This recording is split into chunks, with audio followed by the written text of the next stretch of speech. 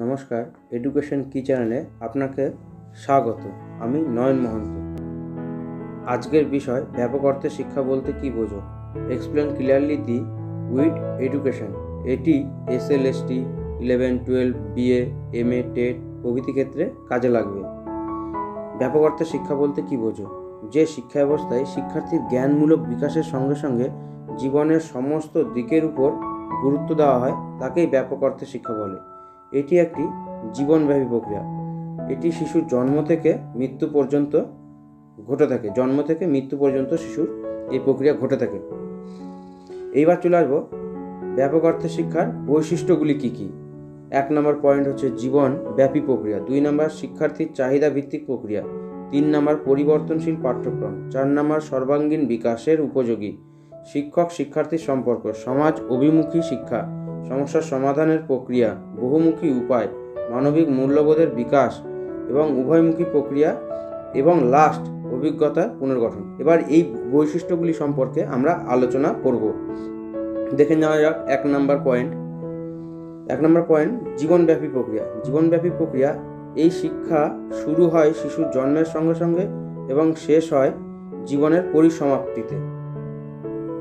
দুই নম্বর পয়েন্ট শিক্ষার্থীর চাহিদা ভিত্তিক। শিক্ষার্থীর চাহিদা, আগ্রহ, ক্ষমতা ইত্যাদির কথা বিচার করে শিক্ষার্থীর উপর জোর করে কোনো বিষয় চাপিয়ে দেওয়া হয় না। শিশু যা চায় সেই বিষয়ের উপর শিক্ষা দেওয়া হয়।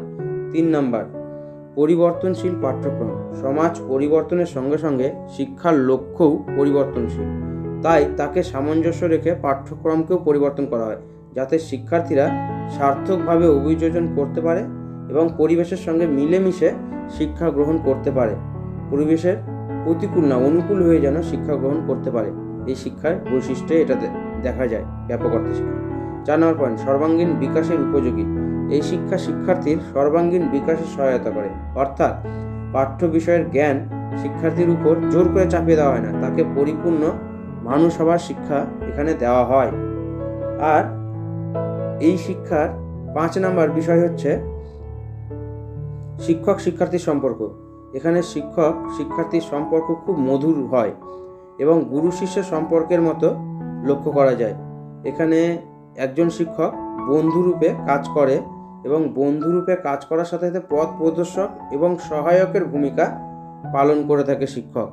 শিক্ষক শিক্ষার্থীর একদম বন্ধু, যাতে সব তার মনের কথা খুলে শিক্ষক মহাশয়কে বলতে পারে সুবিধা অসুবিধাগুলো। ছয় নম্বর বিষয়। ছয় নম্বর বিষয় হচ্ছে সমাজ অভিমুখী শিক্ষা। এই শিক্ষায় শিক্ষার্থীকে সমাজ জীবনের প্রচলিত রাজনীতি, নিয়ম, কানুন ও আদব কায়দা মেনে চলতে শেখায়, যাতে শিক্ষার্থী সমাজ জীবনে সার্থকভাবে অভিযোজন করতে পারে এবং আদর্শ নাগরিক হিসেবে গড়ে উঠতে পারে। আজকের সমাজ যা কিছু বিষয়ের উপর পরিপূর্ণ, সেই সমস্ত বিষয়ের দিক ব্যাপক অর্থে শিক্ষায় তুলে ধরা হয়, যেমন রাজনীতি, নিয়ম, কানুন, আদব কায়দা, চলাফেরা, সম্মান দেওয়া, বড়দের সব কিছু বিষয় এই শিক্ষায় তুলে দেওয়া হয়। সমাজের উপযোগী করে তুলে দেওয়া হয় শিক্ষার্থীকে সাত নাম্বার, সমস্যা সমাধানের প্রক্রিয়া।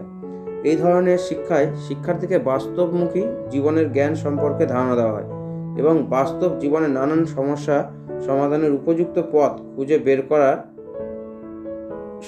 করার সাহায্যও করা হয় এই শিক্ষার মাধ্যমে। আট নম্বর, বহুমুখী উপায়। এই ধরনের শিক্ষা শুধুমাত্র বিদ্যালয়ে সীমাবদ্ধ নয় বিদ্যালয়ের বাইরেও বিভিন্ন প্রথাগত প্রথা বহির্ভূত শিক্ষাও এবং অন্তর্ভুক্ত, অর্থাৎ পরিবারের পরিবারের সাথে ক্লাব, সংবাদপত্র প্রভৃতির মাধ্যমে শিক্ষার্থীরা শিক্ষা অর্জন করতে পারে। অতএব এখন করোনার যুগে মোবাইলের মাধ্যমে শিক্ষার্থীরা শিক্ষা গ্রহণ করে থাকেন। নয় নম্বর, মূল্যবোধের বিকাশ।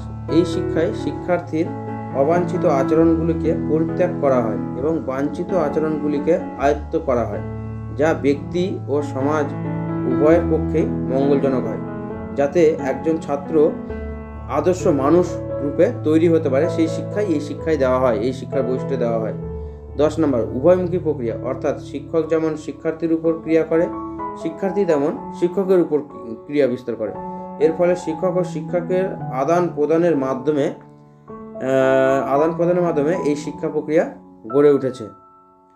লাস্ট এগারো নম্বর পয়েন্ট হচ্ছে অভিজ্ঞতার পুনর্গঠন। ব্যাপক অর্থে শিক্ষা হলো অভিজ্ঞতার পুনর্গঠন ও পুনঃসৃজন অভিজ্ঞতার দ্বারাই এই শিক্ষা সঞ্চারিত করা হয়।